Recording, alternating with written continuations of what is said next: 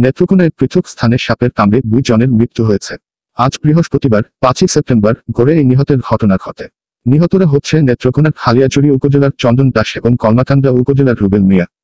নিহত চন্দন দাস নেত্রকোনা সদর উপজেলার কান্তুলিয়া গ্রামে বসবাস করত। সে কান্তুলিয়া এলাকায় একটি সেলুনে কাজ করত। পুলিশ ও স্বজনরা জানায়, গতকাল রাত বারোটার দিকে চন্দন দাস প্রকৃতির ডাকে বাড়ির বাইরে গেলে তাকে সাপে কামড় দেয়। পরে তাকে ময়মনসিংহ মেডিকেল কলেজ হাসপাতালে নিয়ে গেলে চিকিৎসা শেষে বাড়িতে নিয়ে আসে।